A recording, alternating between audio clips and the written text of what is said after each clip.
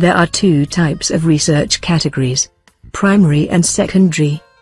Primary research is exclusive data that comes directly from a respondent. Secondary research is already available to everybody through information sources such as libraries or the internet.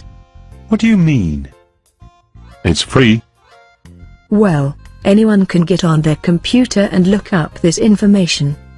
Or they can do the legwork, and go to the library or another source. Anybody can get on the computer to find it. They can. This free information on the internet is usually quantitative data. The truly valuable information is not always in the form of numbers. Is it? It's in the form of words, not numbers, and that's called qualitative data.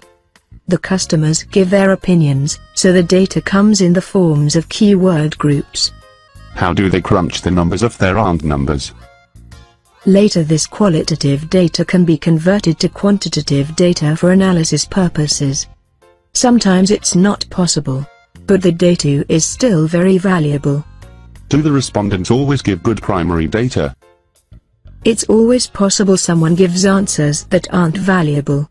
What motivates a respondent to answer questions at all? Marketing companies will pay respondents to answer questions. The respondent could be invited for another phase of research, or the research team could choose to dismiss the respondent. Sounds like easy money. How much do they get paid? It really depends, but it has to motivate participants, so maybe at least 50 or a $100 to start. And there could be more money if they go on. 50 bucks to answer a few questions. Count. Me. In. Professional respondents do exist. They do. What do you mean? You know.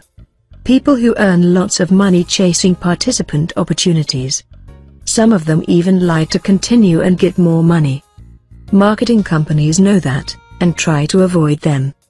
I'll take my chances. What have I got to lose? I'm going to be a professional respondent.